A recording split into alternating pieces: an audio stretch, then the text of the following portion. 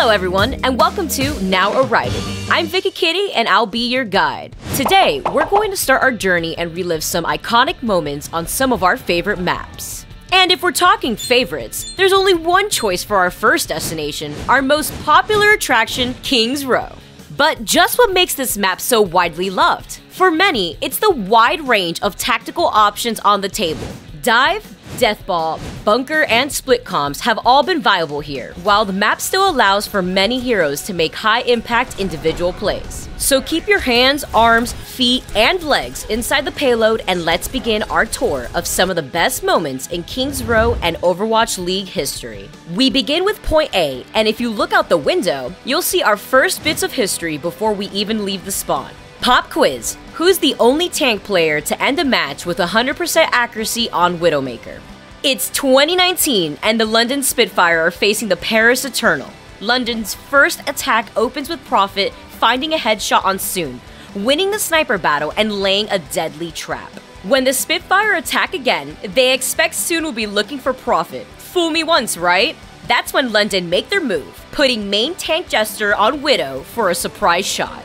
One shot, one kill, and the crowd goes wild. London takes point A, and Gesture ends his day with 100% accuracy on Widow. Easy, right?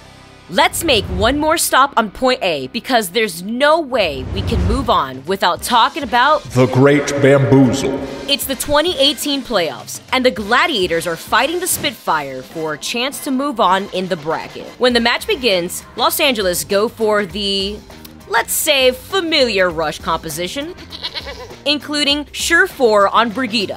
They race through the hotel in a stack, putting pressure on London's backline and forcing them to turn. But what's this? Surefour isn't with the team. He's been waiting in spawn. He breaks out the sniper, and the rest is history. And Shortfall switches to the Widowmaker at just the right time. Closer drops down, and it's a day at the shooting range for Lane Roberts. Good shots, good shots, sorry. You're insane. Now, let's depart from the spawn room, past the objective, and onto point B. Gather around the bookstore, everyone, and let's hear the story of a man named Yaki.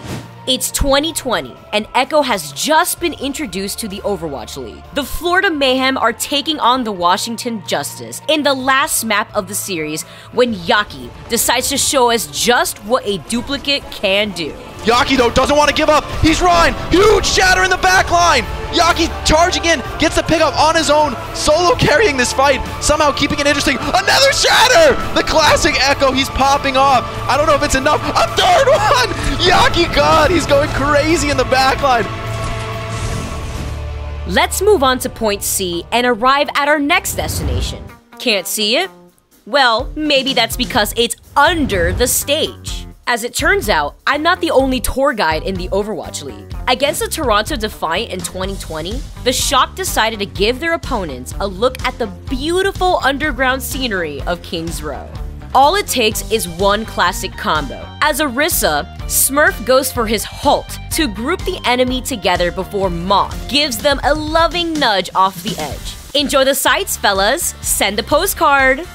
Our tour is coming to an end, and since we began with the attacking spawn, it's only fitting we end with the defensive spawn, and one of the most electric plays we've ever seen here.